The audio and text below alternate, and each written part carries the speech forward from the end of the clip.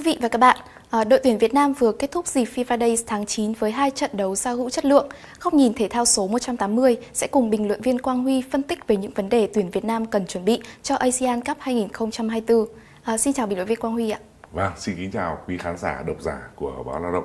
Dạ vâng thưa anh, đội tuyển Việt Nam vừa kết thúc các trận đấu ở vòng loại World Cup 2026 và FIFA Days tháng 9. Theo anh đánh giá thì à, đội tuyển như thế nào dưới thời huấn luyện viên Kim Sang-sik ạ?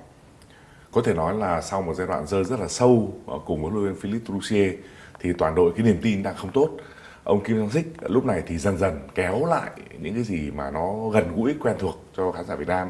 Tuy nhiên phải thấy là ông có những khó khăn, một số cầu thủ chủ chốt thì đã xuống phong độ rồi và đặc biệt là cái niềm tin là đang xuống thấp điều này khiến cho các thủ Việt Nam kể cả tấn công và phòng ngự đều thi đấu không được như mong muốn có một cái khó cho ông Kim là hai trận đấu vừa qua tại sân Mỹ Đình à, cao thủ đều trong cái tình trạng là V-League chưa khai diễn thành ra là chân tay vẫn còn cứng lắm. À, nói chung là là kể cả có tập trung rất là nghiêm túc nhưng mà anh em vẫn chưa đạt trạng thái tốt nhất.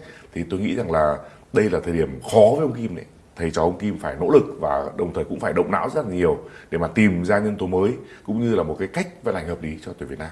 À, dạ vâng ạ. À, ở các đợt tập trung vừa qua thì à, huấn luyện viên Kim Sang Sik vẫn cho gọi các cầu thủ có kinh nghiệm.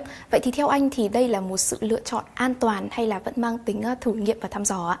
Tôi cho rằng cũng không thể khác được. À, thực ra có một lượng trẻ nhưng mà U23 lại đang đi tập huấn ở Trung Quốc. À, thành ra chỉ có hai cầu thủ U23 bổ sung vào đội tuyển thôi, cũng không nhiều hơn được. Bên cạnh đó thì V-League chưa diễn ra, thành ra để mà tìm kiếm những nhân tố mới thì cũng không đơn giản. À, bởi thế tôi cho rằng là việc ông Kim dựa vào những cái khung thời ông Park Hang-seo những cầu thủ chưa phải là quá nhiều tuổi và cơ bản phong độ vẫn còn được là hợp lý thôi. Đến lúc V-League bắt đầu thì chúng ta sẽ có những cái khuôn mặt mới bộc lộ qua giải đấu quốc gia.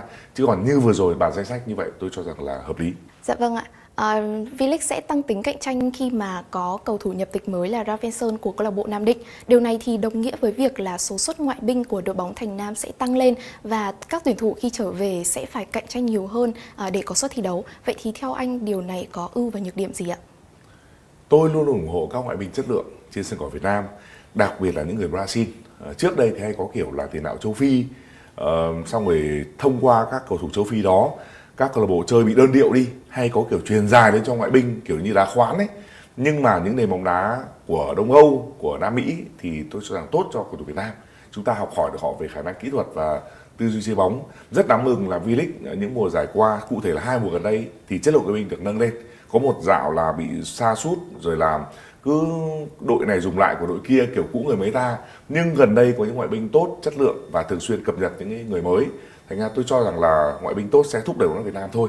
Chứ còn đây là vấn đề, thực ra nó cũng, chúng ta gọi là vấn đề muôn thuở, kể cả thế giới. Làm sao đấy mà ngoại binh tốt thì cũng cần, nhưng mà cân bằng để cầu thủ trong nước cũng có cơ hội phát triển. Thì tôi vẫn cho rằng là cứ có người giỏi để học hỏi đã. Thế sau đó là nước lên thì thuyền sẽ lên, không có vấn đề gì cả. Nam định thì họ đá trên cả các mặt trận quốc tế nữa. Thành ra việc tăng cường cũng là cần thiết. Và tôi vẫn cho rằng là miễn là làm sao giải đấu chúng ta chất lượng được nâng lên thế thì cầu thủ trẻ cầu thủ tiền đạo của Việt Nam cũng có ý thức phấn đấu chứ không phải lo chuyện này đâu À, dạ vâng.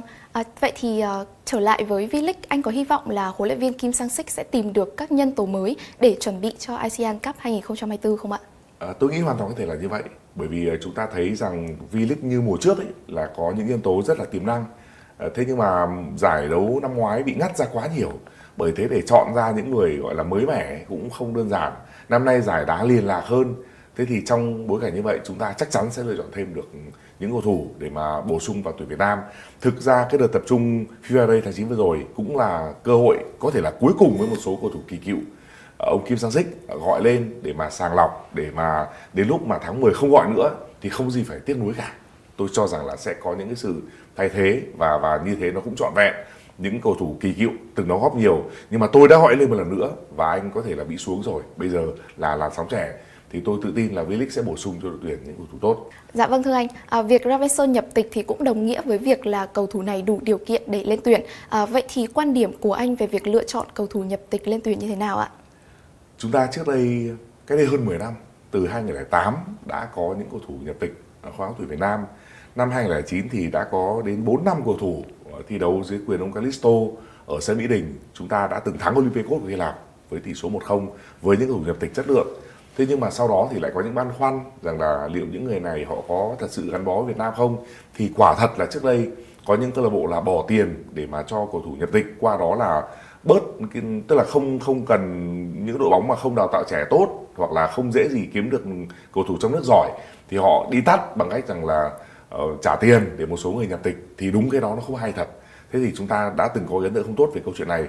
Tuy nhiên gần đây thì thực tế có những cầu thủ giỏi và người ta gắn bó Việt Nam người ta muốn ờ, khoa đội tuyển Việt Nam. Tôi nghĩ rằng cái này rất là chính đáng thôi.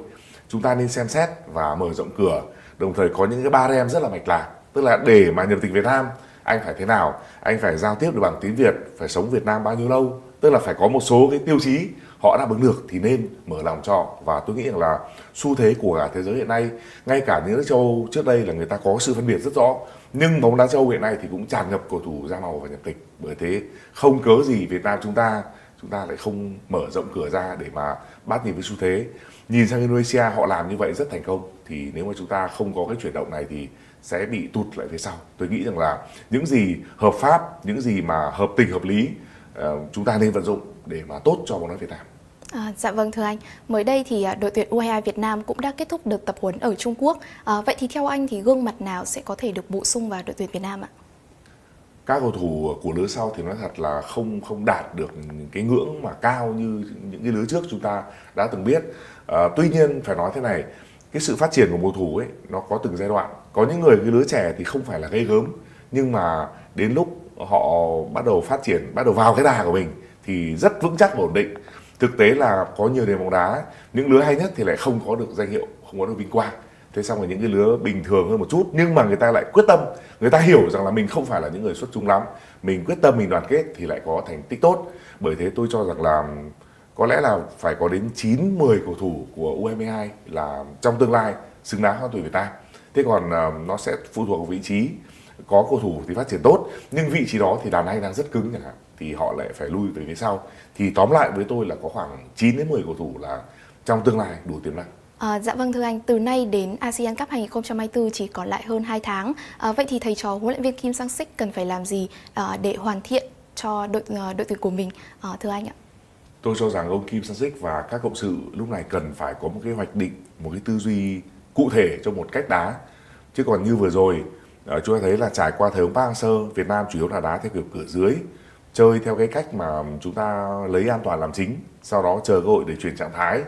Đến thời ông Toulousier thì ờ, ông ấy lại muốn kiểm soát bóng, thường xuyên đẩy cao đội hình nhưng mà phòng ngự lại sơ hở. Thế thì ông Kim tôi cảm giác là cũng đang muốn sửa lại những gì ông Toulousier đã mắc sai lầm. Thế nhưng mà khâu phòng ngự của chúng ta đúng là vẫn chưa được an toàn. Tôi cho rằng lúc này nên quay lại mô hình của ông Park Hang-seo. Mặc dù là một số cầu thủ chủ chốt phong độ không còn như trước, nhưng mà trước hết cứ quay lại cách đá an toàn đã. Chứ còn Việt Nam chủ chúng ta thì chúng ta cũng đã từng mơ mộng nhưng đến lúc này thì phải thừa nhận với nhau rằng là cái tầm mức của mình vẫn hạn chế lắm. Mình mới có được một hai lứa hay thôi chứ chưa phải lúc nào cũng đáp ứng được chưa phải là kế thừa tốt được. Thành ra là đội tuyển cứ chơi theo cách an toàn sau đó chờ cơ hội để mà chuyển trạng thái và phản công thôi. Cứ như vậy để mà chúng ta tránh thua những cái bàn lãng xẹt chúng ta trở lại niềm tin với người hâm mộ và người hâm mộ đến sân đông sau đó từ từ mình tính tiếp nên cắt gơi như vậy À, dạ vâng, dạ, xin cảm ơn uh, bình luận viên Quang Huy vì những chia sẻ trong chương trình ngày hôm nay ạ. Thưa quý vị và các bạn, huấn luyện viên Kim Sang Sik sẽ còn rất nhiều việc để làm trước thềm ASEAN Cup 2024. Hy vọng là đội tuyển Việt Nam sẽ có sự chuẩn bị tốt để hướng tới giải đấu diễn ra vào cuối năm nay. Tới đây thì thời lượng của chương trình cũng đã hết. Xin chào và hẹn gặp lại.